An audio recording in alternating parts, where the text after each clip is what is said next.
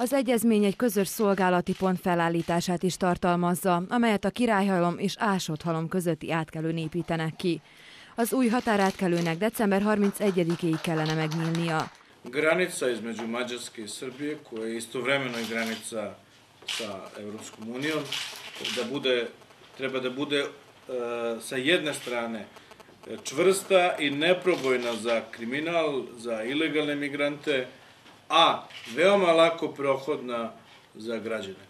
Magyarország már a Schengeni övezet része, és Szerbia is Európa felé irányul.